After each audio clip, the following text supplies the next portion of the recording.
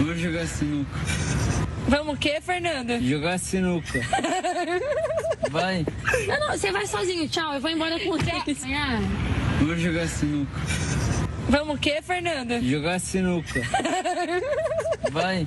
Não, não, você vai sozinho, tchau. Eu vou embora com eles. Enfim, a gente traz o ponto aqui que tanto ele já disse em entrevista e a defesa decidiu ele não consumiu bebida alcoólica na versão apresentada em depoimento.